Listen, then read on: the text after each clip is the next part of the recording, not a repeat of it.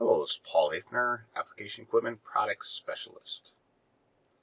So what we're going to go over here is cleaning out the bin. Well, there may be times that you have product left in the bin and you want to clean it out, or you may want to do a stationary test to run some product out of the booms, and we can do that as well. So, on the right hand side, we're going to go to the icon with the it select it. And then we see this one called tests. So it may come up as information. We can select test. We got product one and product two across there. If I hit the drop down, first I have spreader or air cart check. And then there's a control system test and then calibration limits. But then the next one that's important to you is bin tank clean out. So let's do a spreader check first.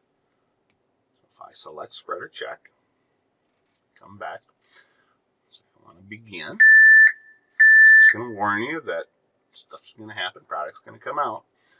So here I can enter a test speed. I can enter a rate.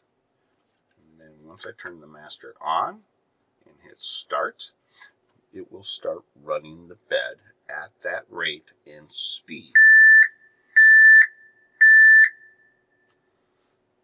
So it'll run at that rate and that speed. And in the windows below, it'll show me my actual pounds per acre going out and how many pounds per minute are coming off the bed. So if you wanted to do a pattern test on the ground, so you can see how the product is being laid out, can go in here and enter this information. It will run your rate, your speed, just like you're doing in the field, and then you can get to the back of the machine and see how that product is coming out. Very helpful. Anytime you want to stop, just hit the master off. Again, we can do this for either bin, product one, or product two. The next one, say we have a lot of product left in the box, rain, you're not going to be out spreading for a while. You want to get that product out of there. So we can pull the funnels on the back. We can put the chutes in place so we can unload the bin. So we'll go into here and we're going to do bin tank cleanout. And now I can select whichever bin that I need to clean out first. Hit the begin. Again, I can select I can do one at a time. I can do them both at the same time.